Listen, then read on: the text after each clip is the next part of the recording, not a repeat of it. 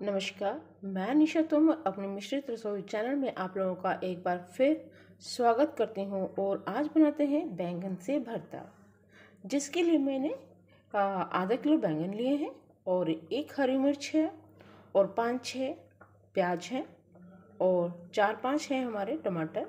तो सबसे पहले बैंगन को गैस पे भूनते हैं से दो पीस कर लेते हैं।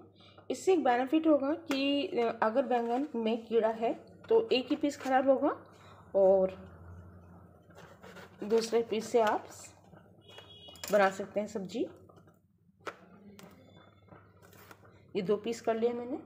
आप सरसों का तेल लेकर के दोनों साइड लगा देते हैं इसका। भुनने में जो पानी सा होता है, वो नहीं निकलेगा। और अब इसको गैस पे भून लेते हैं। से मैंने दोनों गैसों पर इसको रख दिया है और उलटते पुलटते इनको भून लेंगे। इतने हम प्याज को चॉप कर लेते हैं और टमाटर को भी। इस तरह से दोनों बैंगन को भून लेते हैं और देखते हैं हाथ से दबा करके अगर ये दोनों बैंगन जो है इस तरह से दब रहे हैं तो इसका मतलब ये भून गए हैं। ये देखिए, ये थोड़ा सा भी कच्चा है तो इसको और भूनते हैं। ये भुन गया है। गैस पे कढ़ाई रख दी है। अब डालते हैं इसमें हम तेल तेल को, तेल मैंने एक चमचे से थोड़ा ज़्यादा लिया है, क्योंकि प्याज आदि काफ़ी हैं। तब इसे पका लेते हैं। अब डालते हैं इसमें सबसे पहले प्याज।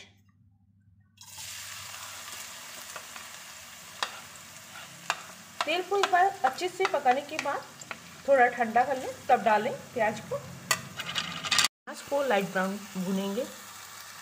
जो बैंगन हमने भुने थे अब उन्हें गरम गरम छील लेते हैं, क्योंकि ठंडा होने पर वो आराम से छिलते नहीं हैं। ये देखिए, इस तरह से आराम से छिल जाएँगे। देखिए।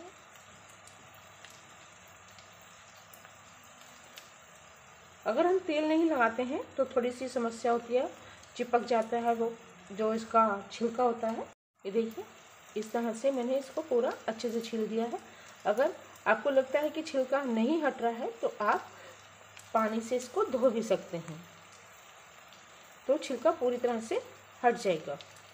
प्याज हल्की ब्राउन हो गई है। आप डालते हैं सबसे पहले इसमें हम छिले हुए मटर के दाने।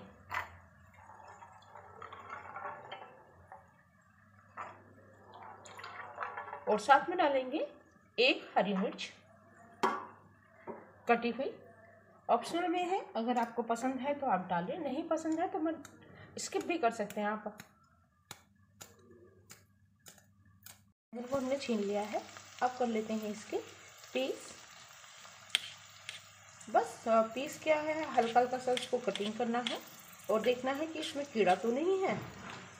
इस तरह से पीस कर लिए हैं और साथ में मैंने ये भी नहीं निकाला है। इसको भी मैं इसी के साथ पकाने जा रही हूँ। इसके साथ मटर को भूनते हुए हल्की गैस पे 10 मिनट हो गए हैं। अब डालते हैं इसमें मसाले, सबसे पहले आधी चम्मच देगी मिर्च, हल्दी पाउडर,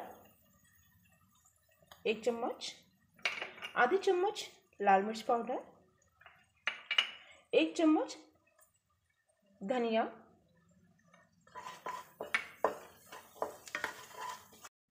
आधे चम्मच डालने जा रहे हैं चाट मसाला।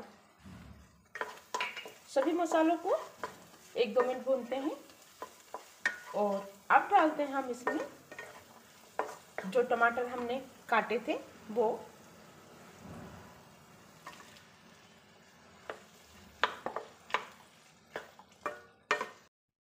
भुने हुए बैंगन के पीस।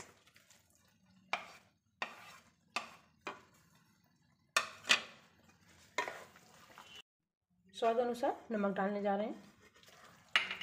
अब इसको ढक कर के धीमी गैस पे 15 से 20 मिनट पकाते हैं। बीच बीच में चलाते रहेंगे।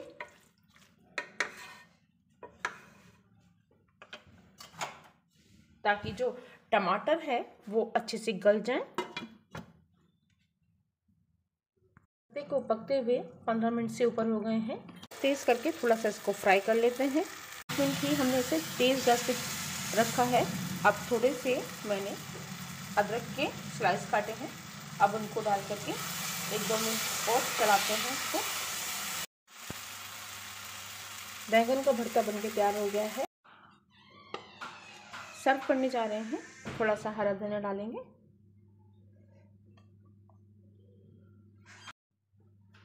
यह रेसिपी आपको कैसी लगी, आप मुझे अवश्य बताएँ। मेरे चैनल को सब्सक्राइब भी करें। धन्यवाद।